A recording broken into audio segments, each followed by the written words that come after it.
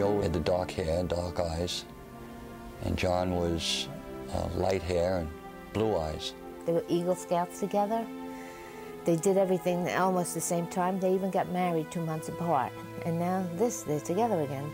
They had recovered this piece of glass in a piece of the lobby. They put it together and they had my son's names etched in there. John and Jan Vigiano called their lost sons our Twin Towers. Joe, an elite emergency services detective, and John, the fire dad's calling.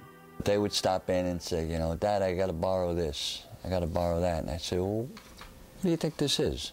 He says, Daddy Depot. I was told I couldn't have children.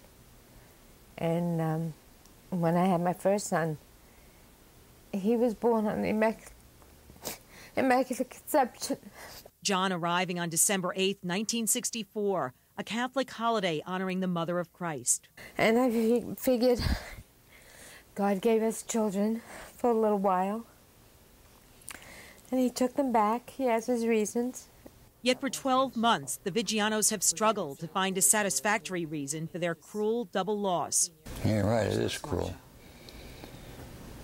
But Mama said it best. God didn't take our sons.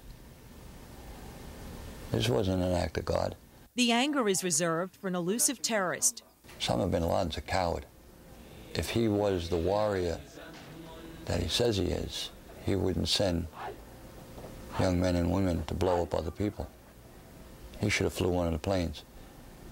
I could almost respect the man that did it for having the guts to do it. The Vigianos have personified guts since they watched the towers fall on TV, rushing from Deer Park to downtown Manhattan's One Police Plaza, sleeping for word on their boys.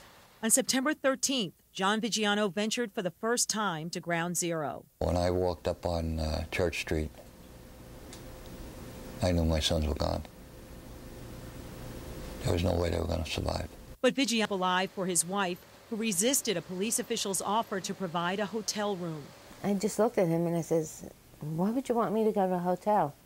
I says, my kids are on slabs of concrete. I can't sleep in the bed. Jan did not return to Deer Park for three and a half weeks. Her husband, a retired fire captain with 36 years' experience, promised her he'd be cautious as he began an eight month vigil at the ruins. And I said, Look, I'm not a fool. Uh, I'm the only one left. I will not do something foolish. He found Joe on October 23rd. Their youngest son, 34, the only detective in his emergency services squad 2, a cop who'd survived three different shootouts, was eulogized by his own son, also Joe, then eight years old. Everyone calls my dad a hero, but I always knew that. God has made my dad one of his policemen. Now he is protecting heaven. Joe had christened his third son, John Michael, just 10 days before 9 11. And now the baby's grandparents focused on recovering the remains of their oldest, John Jr., a member of Ladder 132, the father of two little girls.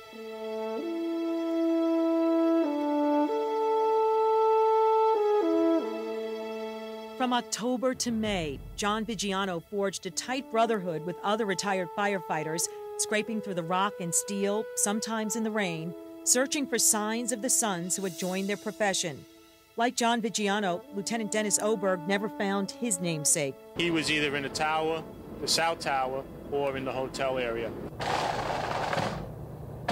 The Vigianos held John's memorial a week before the city closed Ground Zero, putting his personal mementos into a casket. That's what's killing me. I, we have nothing of it. Two days later, John Sr. held hands with the other fire dads at the National Memorial Day concert.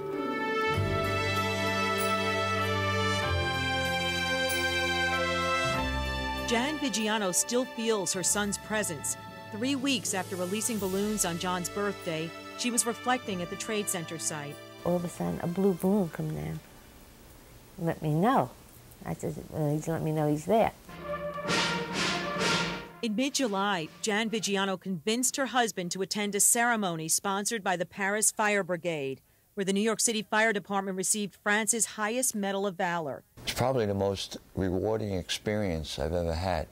And then they took us up to Normandy. the cemetery where more than 9,000 American soldiers are buried after the battle to take back Europe from Hitler's grip.